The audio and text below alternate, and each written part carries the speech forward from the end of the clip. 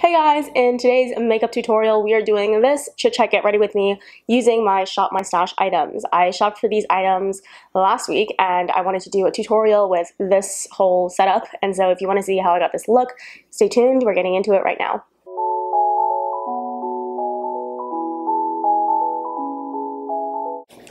As always guys, I'm starting out with a toner. I would use a cotton pad on any other day, but I can't find them, so I'm going to use a little scrap of paper towel. I feel like paper towel is honestly a pretty good product to use toner with because it doesn't really absorb all that much. I know paper towels are supposed to be absorbent, but I feel like cotton pads are truly, truly really like wastefully absorbent. I must have had a really nice moisturizer on last night or sweat in my sleep because I felt a little bit more slick than usual. Alright, so of course I'm using my Shop My Stash items. I don't really have a plan for today except that I wanted to do something bluish something blue. Uh, I'm going to mix two primers. I'm trying to use up these sample sizes. I have the Too Faced Hangover RX primer and I have the Good Molecules Silicone Free Priming Moisturizer. And I feel like they kind of do the same thing from my first impressions. So what I'm going to do is just mix them on the back of my hand and apply them to my face.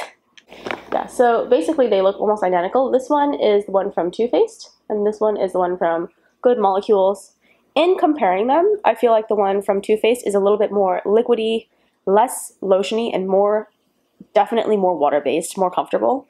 The one from Good Molecules strikes me as something that could be better for people with dry skin and a little bit more of a need for moisture and for creaminess because I feel like the one from Too Faced truly is just really watery, doesn't really feel replenishing in a very thick way.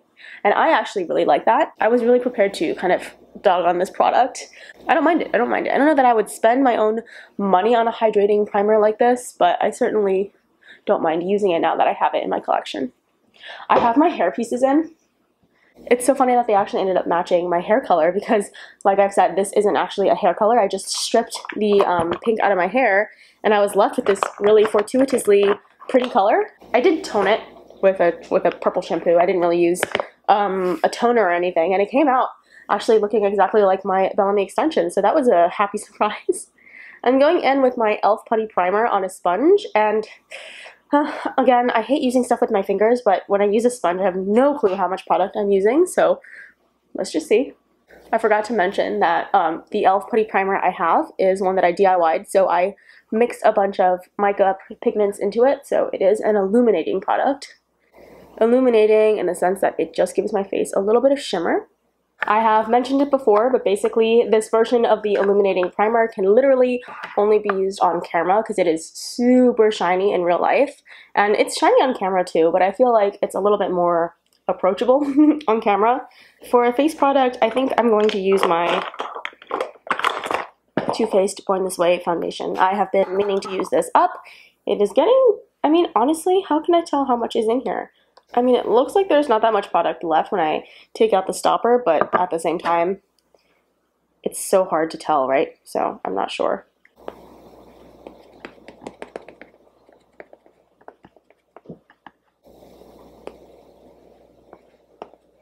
For concealer, I'm using my e.l.f. Hydrating Concealer. This one is a good one, and also I am running low on it, so I can't wait to swap it out for a better color for me.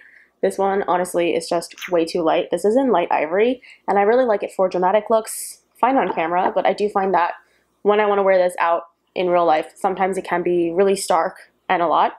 Um, I'll just show you what I do in that instance. I'll usually mix it with a darker concealer. This one is the Milani Conceal and Perfect in Light Natural. This is a true skin tone match. And so you can see wherever I put it, it kind of just blanks out the skin. And it really just looks like my skin has just been I don't know, Facetuned, blurred out. I'm going to take this sponge. I've soaked it with a little bit of a hyaluronic acid um, setting spray. So it should be pretty moist and hydrating. I love me a sponge with a really nice um, surface area. I feel like it's so easy to blend. I just realized what I noticed about myself when I bleach my brows and I do all of my concealer like this. I kind of feel like NikkieTutorials. You know how she's like very blonde, very fair. She also has really light brows, and whenever she does her blanking out of the canvas, I look just like her. Um, oh my god, that's so funny. Okay, all right, we have moved on to the eyes, and of course, I always say I never really prime my eyes, and I don't know, I'm having second thoughts about it, so I'm just gonna go into my putty primer, see if I can get down a wax layer. Yeah, it looks like it's depositing some product. I don't really know if it's gonna make a difference, but I have it, so let's use her up with um, cream shadows, this kind of product especially if they're waxy, you really have to be aware of how quickly you're using them up just because they do kind of dry out, especially around the edges. And I believe you can rehydrate them somehow, but it does kind of change or alter the texture of the product. I've done that with my paint pot before. And so I've kind of decided to kind of, instead of try to rehydrate just to use it up quickly. So today I kind of decided I wanted to do a bluish eye, like a bluey purpley eye. And I haven't used this blue from the Huda palette yet. So I'm going to just go straight in. Let's just do it. I mean, balls to the wall, right? So I'm going to take the color Haze on a slightly fluffy brush, but not too big because my eyes are small. And I'm just going to go straight into the crease. Let's see what that looks like. Tapping off the excess and patting straight onto the eyes. Yeah, it's definitely got like a mermaidy quality to it. It's got that hint of green that turns it more turquoise than blue. Y'all can see just how turquoise that is. And I really wanted today's look to be basically an outer corner blue color. I didn't want the whole thing to be blue. I just wanted um, like a pop of blue. I feel like the pop of blue was so popular for a while, but I wasn't on that train, unfortunately. I wasn't on the bandwagon at the time. And I feel like I never tried blue eyeshadow. It just like wasn't a thing I did. So unfortunately, there isn't really another way for me to get closer to you guys. So hopefully you can see enough just like this.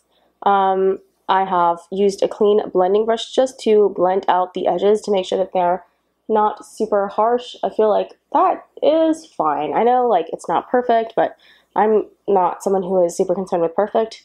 I'm just going to take maybe a skin tone color, blend it out. Yeah, that's fine, right? Not a big deal. Actually, I feel like that darkened my skin a little bit. In person, you can definitely see that that darkened my skin, but it's okay, whatever. Let's figure out what to do in this inner corner. What is it? This supernova color is really interesting to me. I feel like I have never entertained putting a red, purple, and a blue together. So why don't we try supernova? Supernova looks like this.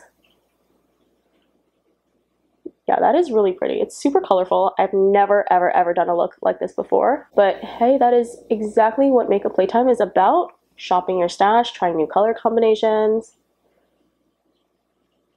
I'm going to go into the shade Cosmic and Supermoon, and I'm just going to brighten the inner corner area just because I feel like it's a little bit dark for me. And I'm choosing these colors because they still have that purpley undertone that I like. And you can really see that shift. So I have mentioned it before, but this is the fourth time I have dipped into this palette and used this color Supermoon. It is really pretty. It's super metallic and shiny and chunky, but gosh, does it run out fast? I feel like I've always seen it gouged out at Sephora, and now I know why. It's because it's just so flaky that it wrecks itself. I mean, it doesn't last very long at all. But the red to purple shift of this Supernova shade is really quite interesting, and I dig it a lot. I'm going to go back into Haze, that blue color, just to, um, I guess, make sure that the color is really saturated at the outer corner. The reason why this look is interesting to me is because the outer corner is not a darker color the depth is actually kind of reversed. I feel like usually we put a bright color in the inner corner and a darker color in the outer corner. Today it just feels like the scripts are reversed a tiny bit. I'm going to go into these last two purple colors, Vortex and Hot Mess, and just very carefully do a little bit of shading right where my lash line is. Always remember to tap off. I got a tiny bit of fallout earlier and I am not pleased with that. I would rather build twice than have to add more concealer onto my face. Okay, honestly, I'm pretty pleased with this. I just wanted a tiny bit of depth here so that when I do my liquid liner, it doesn't look atrocious. Um, let's look for a liquid liner here. So in my little makeup kit, I think I'm going to go for a blue color because why not? I don't really have an occasion to wear blue eyeliner, eyeliner all that often.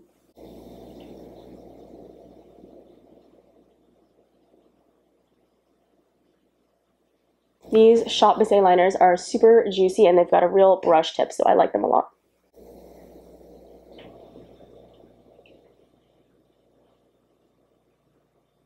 Has anyone tried the Falscara lashes from Kiss? I think they're supposed to be a Lashify dupe. Lashify is that brand where you apply lash gossamers um, with this like semi-permanent bonding glue. It's basically like DIY lash extensions, but instead of one single lash at a time, it's like a tiny clump of lashes at a time. Think about like chopped up, really, really wispy lashes. And I've always wanted to try them, but they're freaking expensive. I mean, they're more affordable than lash extensions for sure, because you know you're doing the labor yourself.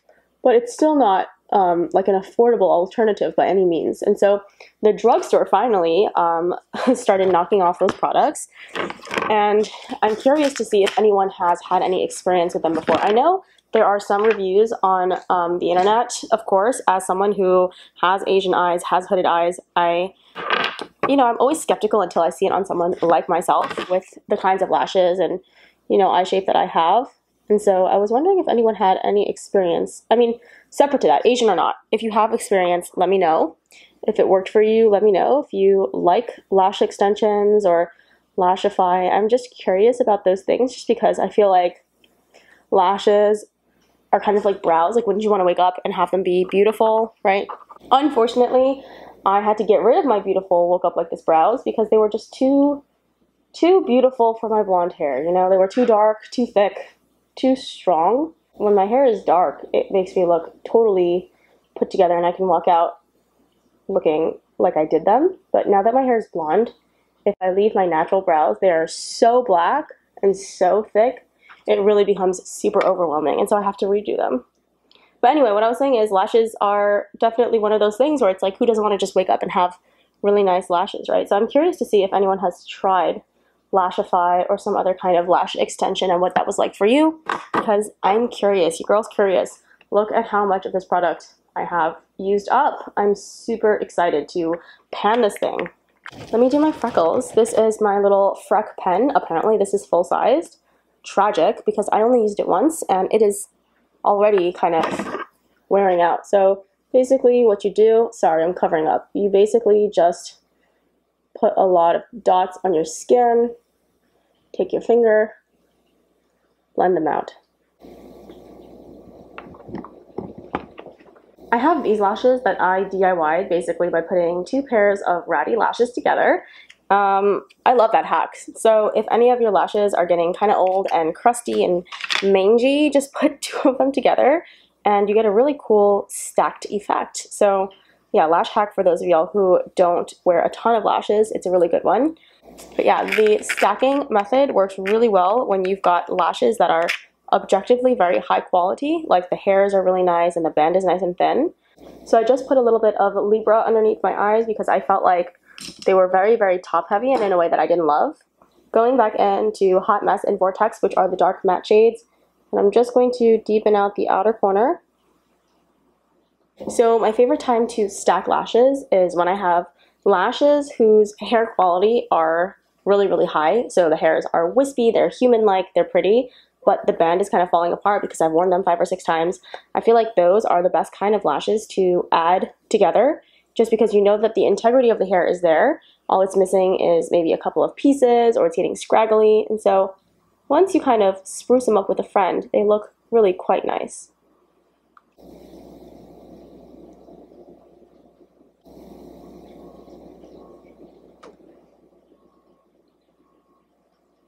Feel like this looks absolutely crazy on camera. Maybe it looks crazy in real life too, and I've kind of become immune to it. All right, we'll see if we keep these on. I was really excited about these lashes, but they look kind of insane. Okay, why don't we do the rest of the face and we'll come back to judge um, the eyes. So for face product, I have this pouch here of all of the face products that I want to be using up. Um, however, when it comes to the Huda palette, I feel like the best highlight is going to be this one or Supermoon again. Um, since I have used Supermoon to death, I'm going to go in with Cosmic instead. Cosmic is that really light purpley color, and I'm just going to apply it again to my cheekbones. And you can definitely see a purple shift. I kind of like bolder makeup nowadays. I definitely didn't while I was working in schools and stuff, just because you don't want to be like actually distracting. But now that I'm at home, I'm all for brighter makeup, stuff that is a little bit bolder, a little crazier. Okay, So she's cute, but she's kind of a little bit darker than I was anticipating. And so I'm going to go into my Blinded by the Light highlight and let's try this over the cheekbones instead. For blush, I'm going to go back into my palette and I'm going to use this peachy color called Utopia. And I might mix it with Crash. Crash is this nudie, almost taupey brown color, and then this one is Utopia. I'm going to mix two of them to get a neutrally pinky coral. So this is the color that I'm anticipating. So let's mix these two colors together. So Crash and Utopia, I'm doing equal parts of both. Yeah, there we go. That's really pretty. So guys, don't be afraid to use your powder products um, anywhere you like. I feel like nowadays eyeshadow formulations are so good in terms of blendability and pigmentation that you really probably are able to use whatever product wherever you want. Of course, um, the actual pigmentation and the sheen and the you know textural variation between these products is going to differ. A blush is not going to be as pigmented as you know, an eyeshadow, hopefully. But I do think that there are ways to mix and match and make them wearable. I have tweaked the blush a tiny bit. I'm going in just to make sure that the blush is a little bit more blushy and not so taupey.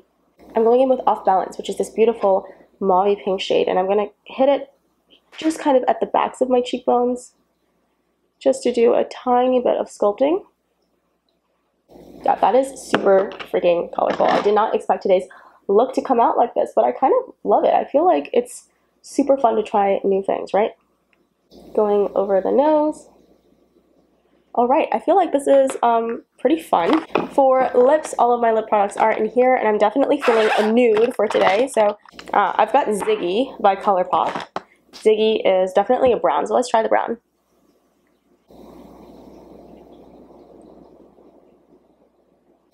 So even though I tried to sheer it out, it ended up being such a strong, bold color anyway. So I think I'm going to take just a tiny hint of concealer just with my lip brush and like literally the tiniest drop of concealer. I feel like this one might actually be too much. And I'm just going to try to sheer out how dark this lipstick is. Alright, so if you've got the patience to do this, I feel like doing a really brown lip color and then adding in a little bit of um, foundation or concealer and blending gives you a really nice, your version of nude, right? Because you're adding literally nude pigment into your lipstick. Let me check my lashes. I feel like they are stabbing my eyes out. They are. I feel like these lashes are actually really distracting to the look, so I'm going to peel them off. Sorry, guys. You guys are way too big and way too distracting for my makeup today. We're just going to call it a look. I feel like the lashes, um, although they were really cute and I liked them, they were causing me more stress than they were worth. So let's take the hair down. I always hate clipping up my bangs because it destroys the, um, the shape. The fringe always gets a little bit of a, a kink. This is the final look. I ended up taking off the lashes, so if you see a little bit of um, space where the liner is supposed to be darkened up, ignore it. But I like the effect so far. I feel like it looks pretty fun and fresh. What do you guys think? I've never done blue and purple together and certainly not bright blue in the outer corner and dark purple in the inner corner. I feel like it's really fresh and interesting for me. What do you think? I feel like this has been a very successful Shop My Stash Get Ready With Me and hopefully you got some inspiration to do color combinations that you haven't done before. I'm certainly someone who has um, I guess, taking it easy in terms of pushing myself to do color, to do new things. Honestly, I feel like not having to teach in person has done a great number on my makeup creativity. While I was working in retail and while I've been teaching from home, it's been Sorry guys, my camera cut out, so I'm not sure if I remember what I was saying. Um, from what I recall, I was talking about how being at home and being able to experiment with my makeup more freely because I'm not scared of being judged, mostly by other adults. I feel like the students are usually pretty on board with me looking the way I do, but I feel like just from being just from being at home more often and having the freedom to play around with colors, play around with makeup, I mean, it's crazy what color can do for our psyches, right? And trying something just just a little bit atypical. Of course, I didn't do like graphic liner or anything that is not very stereotypically me. I just changed the colors around a little bit. And just that was enough to feel very fresh and very inspired. So I hope you were able to take something creative away from this video. I hope you try out a different color combo or a different something or other. I think that's it, honestly. Uh, don't forget to subscribe to my channel. I upload every Monday, Wednesday, Friday, and sometimes on Sundays beauty and beauty adjacent commentary. So if that sounds good to you, I would love to have you join our family.